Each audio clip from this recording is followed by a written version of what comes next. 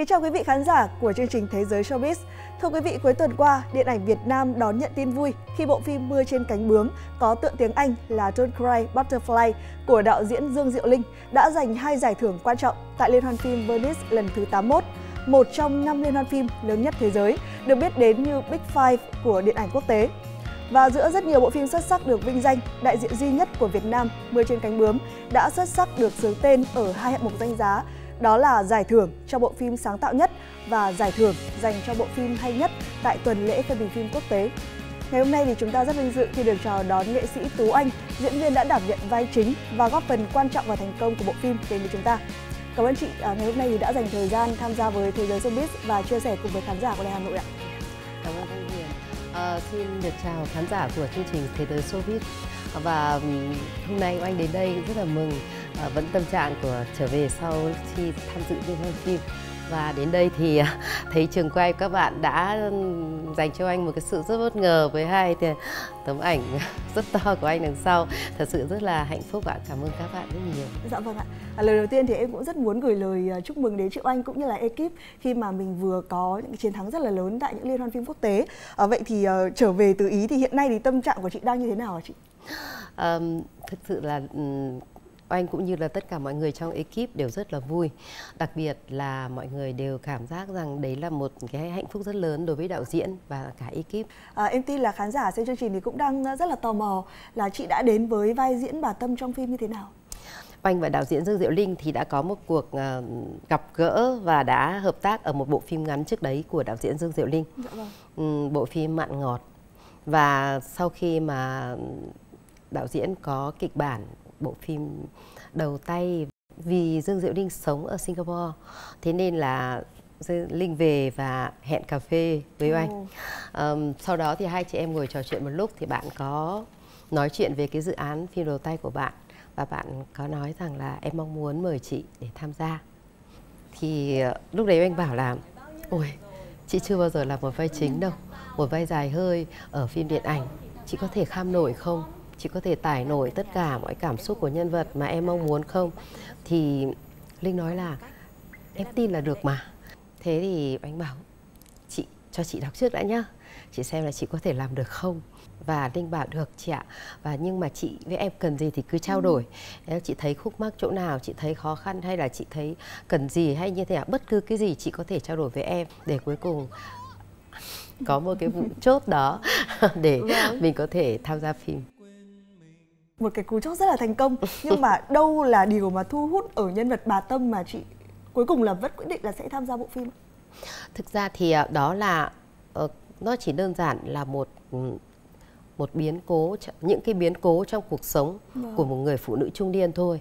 Thì bất cứ ai thì trong cuộc sống này nhất là oanh ở cái tuổi này nữa thì bạn bè hàng xóm hay tất cả những cái hình ảnh những người phụ nữ trung niên xung quanh thì nó đều có một chút gì đó uh, nó phù hợp với cái tâm trạng của ừ.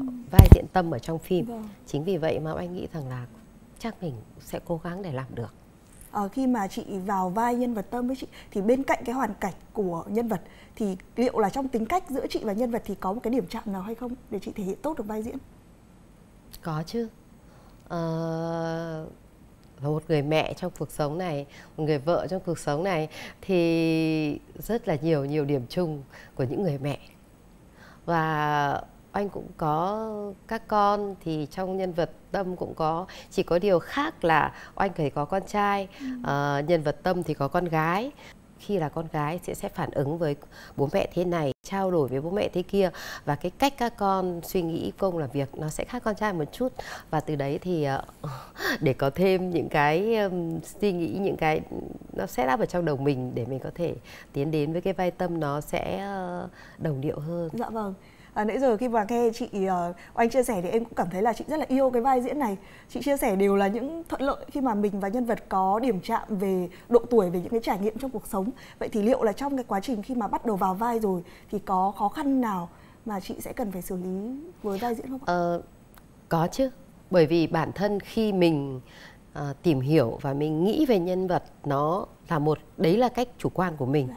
nhưng khi mình làm một bộ phim thì cái nhân vật và cái cách thể hiện của nhân vật cũng như tâm lý của nhân vật được khai thác đến đâu ở ở ở dừng ở vị trí nào ừ. thì đấy lại là mong muốn của đạo diễn và cái là mình cần phải có chuẩn bị tất cả những thứ tâm lý cho mình nhưng mình lại phải lắng nghe và có thể căn chỉnh được theo đúng mong muốn của đạo diễn. Vậy thì với chị khi mà đóng phim này thì chị đã uh, xử lý được đạt và uh, đã theo cái mong muốn của mình hay chưa?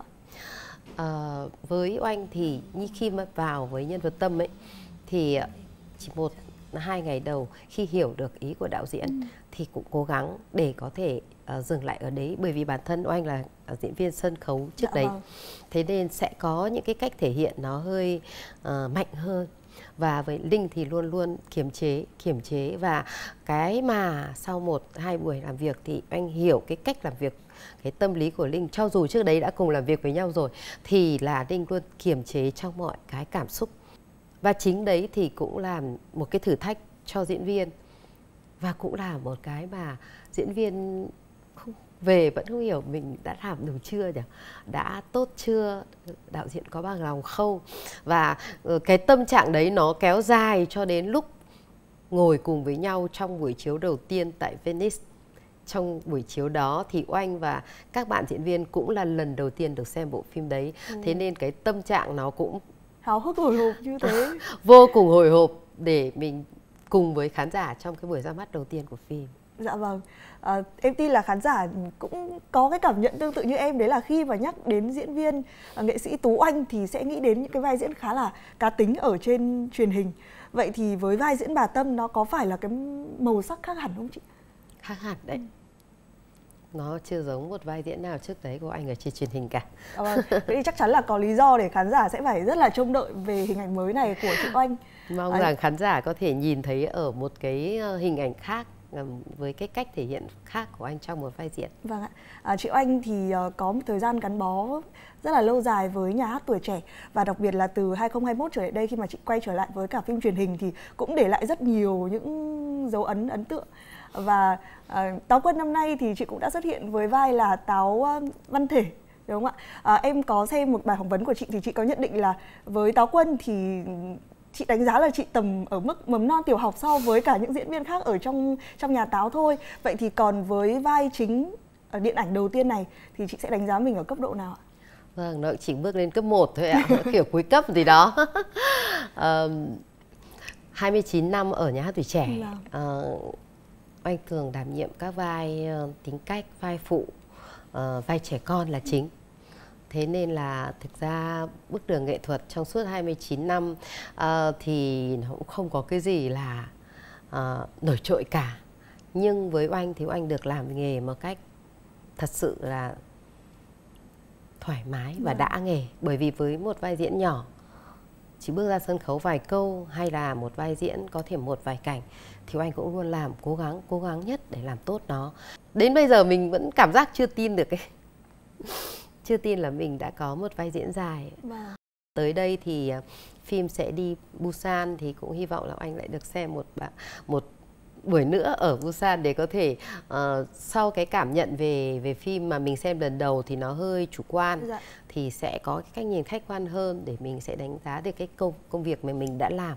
À, em cũng khá là bất ngờ với thông tin là 17 năm chị dừng đóng phim truyền hình để tập trung vào gia đình và chỉ à, làm trọn vẹn ở nhà hát tuổi trẻ thôi. Là một người yêu nghệ thuật nhưng mà mình cũng đã chấp nhận là lùi về sau để làm hậu phương vững chắc cho chồng và con và đến bộ phim này thì à, khán giả cũng mới biết nhiều hơn là trong gia đình nhà chị Oanh thì có một người con, một người con thứ thì ờ, cũng tham gia phim này với mẹ và cũng theo nghề vậy thì cái cảm xúc mà khi mà được đóng chung một bộ phim với con, vừa được làm nghề vừa được ở bên gia đình thì nó như thế nào chị?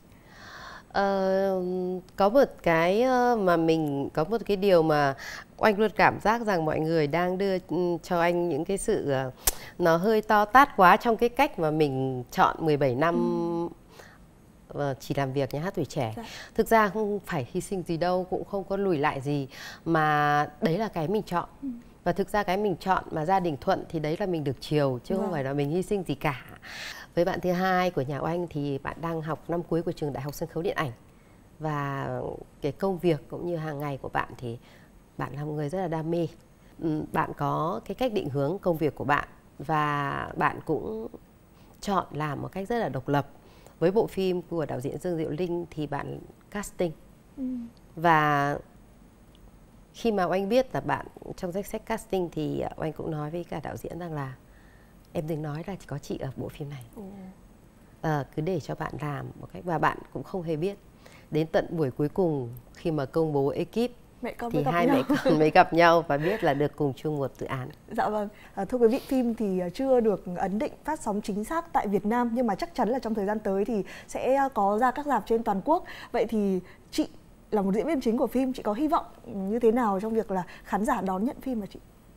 À, vâng, thì uh, hạnh phúc nhất của những người làm phim là người Việt Nam dạ. là một bộ phim Việt Nam là một câu chuyện về cuộc đời của những người Việt uh, con người ở Việt Nam thì hạnh phúc nhất chính là sự đón nhận của khán giả Việt Nam thế nên là oanh cũng mong rằng là uh, mọi người sẽ đến nhé để chia sẻ với ekip đoàn phim và cũng hiểu vì sao mà một cái câu chuyện như thế uh, đã được một liên hoan phim lớn chọn ở trong bộ phim đấy để chiếu cùng với 7 bộ phim khác tại Liên hoan phim Venice trong hạng mục dành cho những nhà làm phim đầu tay. Dạ vâng, à, thực sự là mình vừa tham gia vào một bộ phim mà rất là thành công đối với người Việt và là niềm tự hào khi mà đưa được uh, phim điện ảnh Việt tiếp cận ra thế giới. Vậy thì còn kế hoạch của riêng nghệ sĩ Tú Anh trong tương lai thì sao hả chị? Sau bộ phim điện ảnh đầu tay vai chính này thì chị đã có những cái kế hoạch nào khác được triển khai rồi?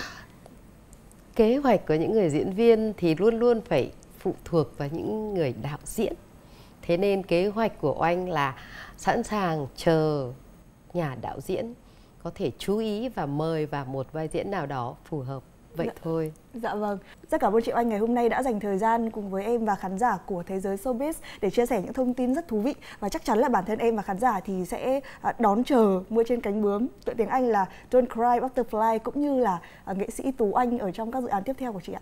Trân trọng cảm ơn uh, chương trình Thế giới Showbiz và khán giả Showbiz đã lắng nghe câu chuyện của anh của anh ngày hôm nay. Bởi vì đây là những chia sẻ đầu tiên của anh khi mà trở về sau một liên hoan phim. Và mọi người sẽ cố gắng cùng chờ đón và ừ, khích lệ ủng hộ bộ phim Mưa trên cánh bướm nhé. Người ơi hãy quên mình một lần, dù ngàn kiếp sau